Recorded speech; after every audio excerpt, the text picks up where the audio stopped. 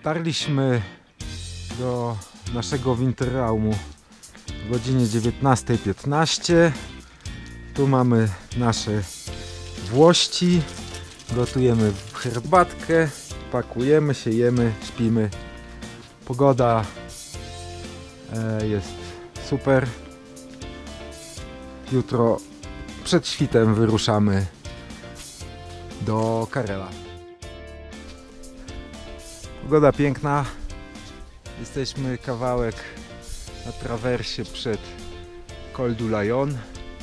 3,5 tysiąca metrów. Nastroje jak